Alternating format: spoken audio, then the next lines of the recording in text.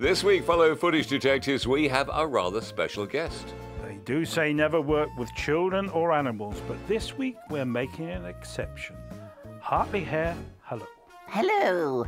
Do join me, Hartley Hare, on the Footage Detectives this Sunday. I have a special question for you all. Uh, and uh, these two want to rabbit on about some old reels and memories or something. Now, now, Hartley. We start this week with a look at Make Do and Mend, some brilliant footage for you sewing machinists. Remember when we never threw anything away and everything was mended? Even socks. That's a brilliant lost reel of haulage firms in the UK in the 1950s. It's almost like the real hell drivers, but a bit slower. And some great letters about Eel Pie Island. And Dame Maureen Lipman has been in touch. She's got an ology in footage detecting. And there's me. So do join us. And Hartley Hare here.